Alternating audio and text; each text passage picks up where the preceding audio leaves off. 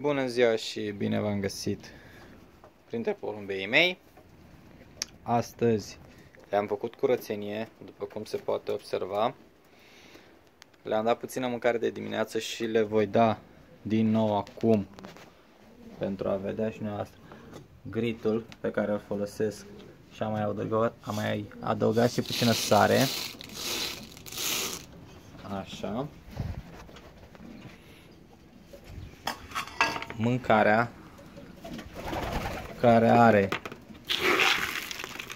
grâu, porumb, floare, sorg, mazăre și rapiță și poate puțină soia din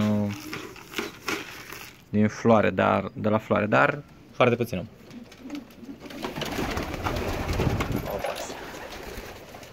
Asta e ce a rămas de dimineață din ce le-am dat. Nu le-am dat foarte mult pentru a mânca tot.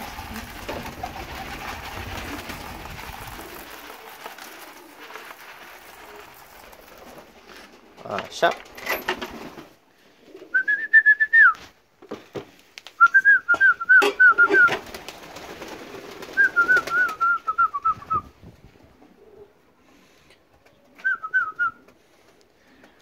Am curățat în mare parte tot. Am uitat în schimb la puiul de voltat să-i curăț. Dar îi voi curăța după ce filmez. Am curățat cuștile tot. N-am mai lăsat nimic. Fiecare. Puiuțul nostru. Opa, așa. Se face mare, crește pe ce trece și se face din ce în ce mai frumos. Porumbei au o are, o, două, are două. Bune aceasta. Uh, tot stă pe cuib nu știu, ia să vedem dacă nu are o încă. Da, va depune. Acesta are ouăle bune. Acesta în schimb nu. Le-am verificat. Unul chiar este spart. Nu știu cum. Asta este ghinion. Le voi mai lăsa, le mai las ca să văd uh, cum uh, merge treaba și poate celălalt e bun. Poate încă e prea devreme. 3-4 zile. Mm, sper să fie încă bine. Dacă nu, le pun alt ou de la altă pereche să crească un pui măcar. Dacă nu, vor face din nou. Îi mai las o săptămână. Acesta are ouăle bune și mă bucură foarte tare. Uh, sunt curios ce culori va ieși, vor ieși puii. El fiind albastru, perechea lui fiind albă, vor ieși bălțați, vor ieși uh, ori unul, unul o culoare, unul opa. Prima dată când îl prindem și pe el pe cuib. Mascul de anul trecut, tânăr, practic acum o să fie prima lui serie de pui, dar am mai avut o serie de ouă care, din păcate, chingii le-au spart. Așa, am curățat fiecare boxă, că la un moment dat își luase fiecare aici, am pus paie, că poate, poate și au perechi. Nu vor. Aici n-am umblat să iau ce e pe aici pentru că au puiul. Văd că și de data asta am prins masculul. La pui n-am mai prins femela, el este mai, uh, mai blând. Totuși, nu face la fel de urât. Opa, începe să se cunoască totuși culoarea lui. Mm, ușor, ușor. Este hrănit bine, chiar foarte bine. Nu știu, vom vedea ce culoare o să iasă, pe aici e mai închis. Mm. O contează ce culoare, el să fie sănătos. O, cu tata, o, cu tata. S-a speriat. Dar el e mai blând față de, de femelă și chiar ar fi trebuit să fie invers. Da, nu e o problemă. Aici ăștia văd că tot strâng paie, nu le-am mai pus nimic, cred că o să le pun un cuib după ca să văd uh, ce vor face. Acum, aici avem masculul. I-am verificat ouăle, nu prea să vede, ar fi bune.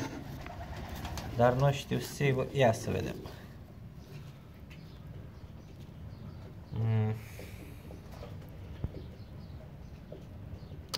Da, nu, nu pot să-mi dau seama acum. O să le verific după aia și vă voi spune data viitoare.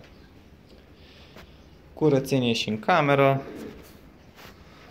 Strâns tot de pe jos. Cernut nisipul, iară mai adu- am mai adus nisip.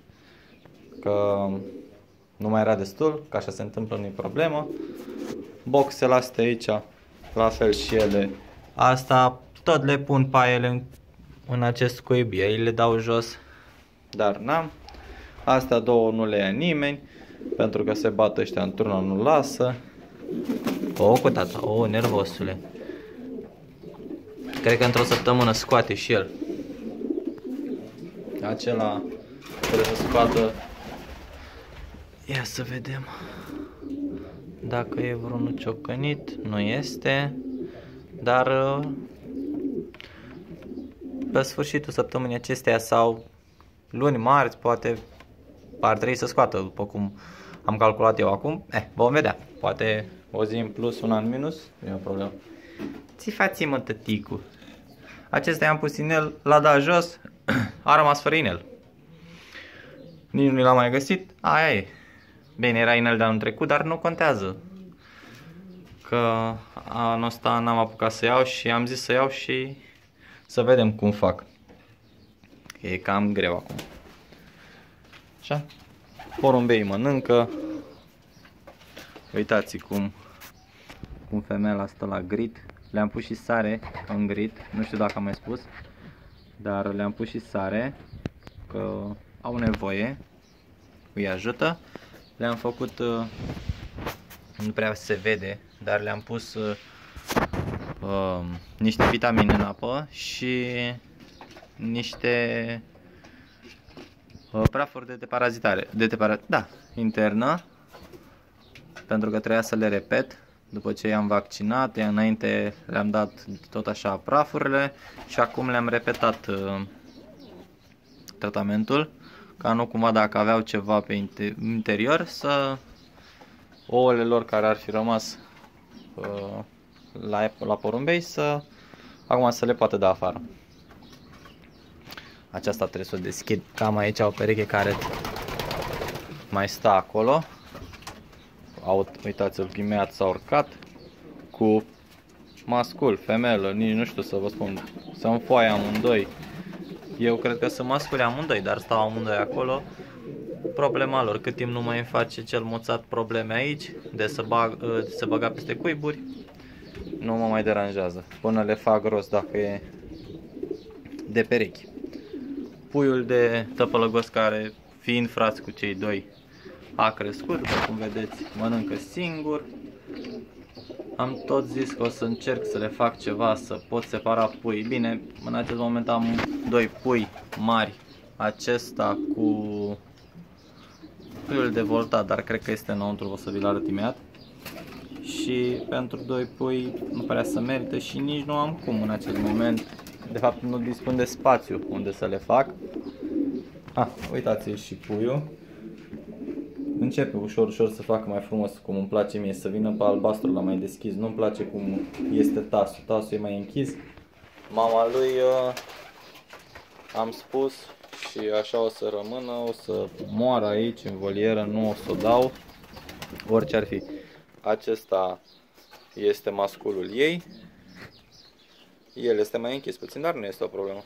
Pe ea o am de vreo 6-7 ani, nu mai știu și scoate 5 serii de pui pe an. Nu am nicio problemă cu femeia, femeia este extraordinar de bună. Și am și un pui din ea, oprit de anul trecut, acest albastru care e leit ea și mai am avut un pui tot așa din serie cu el uh, tot mascul. La fel, la fel, doar că pe gușă era mai uh, castaniu, avea o, o tentă mai spre castaniu. Dar uh, l-am ales pe el că semăna mai mult cu mama lui. Și am zis hai că rămâne el. Da, în mare cam aceștia sunt femela care mănâncă acum este mama puiului de, volta, de voyageur standard, care era care vi l-am prezentat mai devreme. Kingul care face pe aici scandal cu cei doi tăpălăgoși că n-are pereche, na, asta e, nu am ce să-i fac. Cu cât uh, trece acest virus mai repede, cu atât el va ajunge la nou proprietar și o să aibă o pereche. N-am, n-am, dacă era distanța mai mică, da, era deja acolo, dar asta e acum. Bun. Ce să vă mai spun? Cam atât pentru astăzi și ne vom regăsi, ne vom auzi din nou cât de curând. O zi bună!